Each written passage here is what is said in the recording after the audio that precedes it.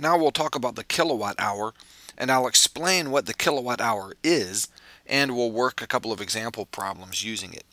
It turns out that the kilowatt hour is a unit for energy and here's how that happens to be the case.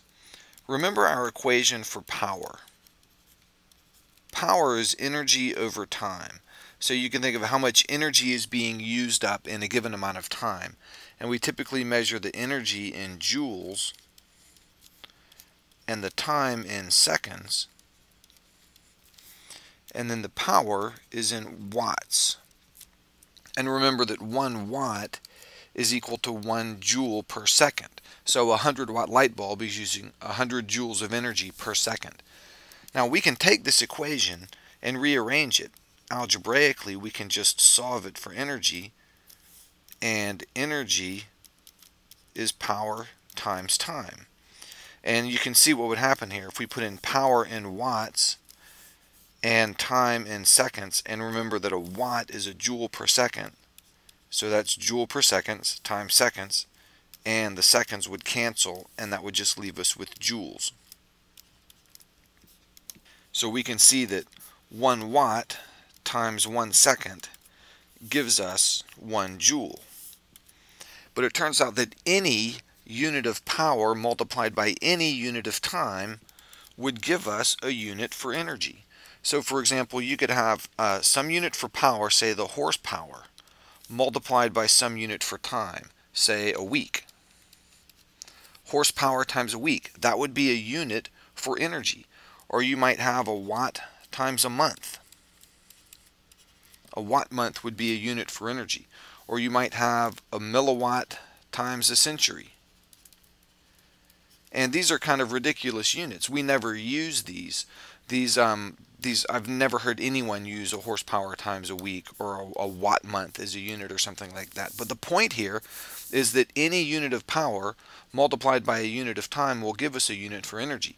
Now these aren't very common. What's commonly used as a unit for energy is a watt times a second which is the same thing as a joule. But there's one other unit for energy that's commonly used, and that's a kilowatt times an hour. If you have one kilowatt times one hour, well, the unit there is a kilowatt hour, and that's written with the lowercase k, capital W, lowercase h. And a kilowatt hour is exactly this, a kilowatt times an hour.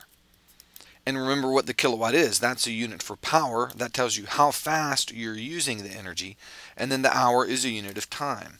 So if you're using energy at this rate, one kilowatt, for that much time, one hour, then the total amount of energy used is one kilowatt hour.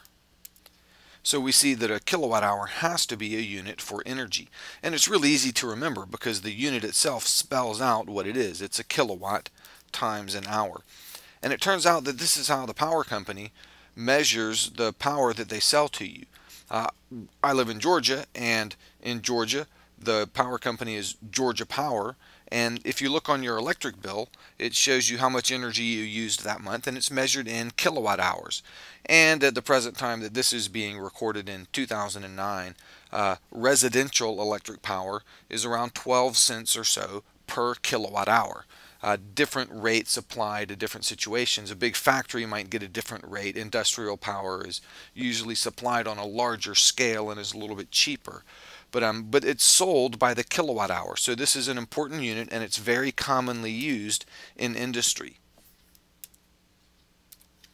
Here's an example problem. How much does it cost to run a 1.8 kilowatt heater for one month if it's used three hours each day? and we're told electricity costs 12 cents per kilowatt hour and we're going to assume that the month has 30 days. So here it is. We're going to figure out the power we're, or we're told the power. It's 1.8 kilowatts so that's 1,800 watts and we're told the time is 30 days and we're using it for three hours per day. And if we write it like this, you can see the days cancel out mathematically. So over the course of that 30 days, it gets used for a total of 90 hours. You can see the 30 times the 3 gives us the 90. And then we can find the energy. That's what we're trying to figure out. In order to calculate the cost, we need to know the energy. And the energy is power times time. Our power is 1.8 kilowatts. The time is 90 hours. So we just multiply 1.8 times 90 and we get 162. And you can see the units right there, kilowatt hours. So 162 kilowatt hours. And then we can figure out the cost. We have 162 kilowatt hours times 12 cents per kilowatt hour. And I'll write this as $0.12 per kilowatt hour. And set up this way, you can see the kilowatt hours cancel and we're left with dollars for our unit. And 162 times 0.12 comes out to 19.44. So that's $19.44 to run that heater. And you, you might think, oh, that's not too bad.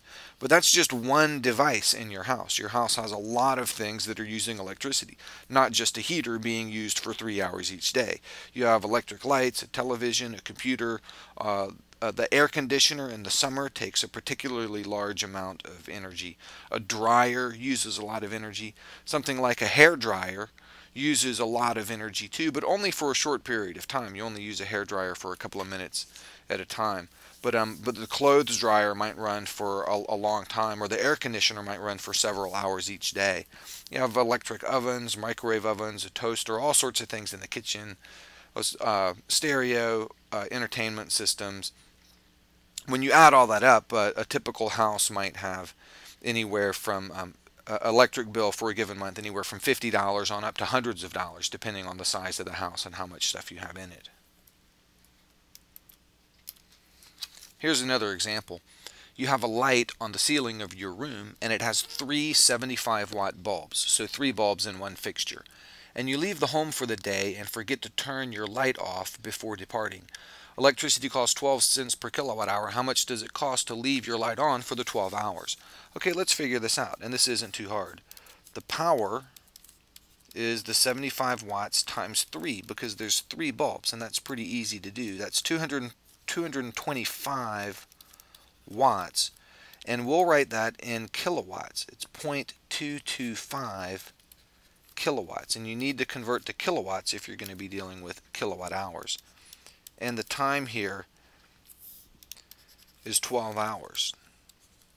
So we can calculate the amount of energy that's used while we're gone for 12 hours. It's 0.225 kilowatts times 12 hours. And so we multiply 0.225 times 12 and we end up with 2.7 and you see the units there, kilowatt hours. 2.7 kilowatt hours and then we can calculate the cost from that. 2.7 kilowatt hours times 12 cents per kilowatt hour and these will cancel out the kilowatt hours. And it just leaves us with 2.7 times 12 that comes out to 32.4 cents. And you could write it as 32.4 cents like that or you could write it as point $324. Either way would be okay. And you think, okay, that's not too bad, 32 cents. But that's just one day, and that's just one thing. Lots of things are in your house using electricity. Some of those things are on more than 12 hours a day, some aren't. But again, that's just one light fixture from one room. So leaving a lot of things on can add up. And even just one device left on each day, day after day, week after week, and month after month can add up to hundreds or even thousands of dollars.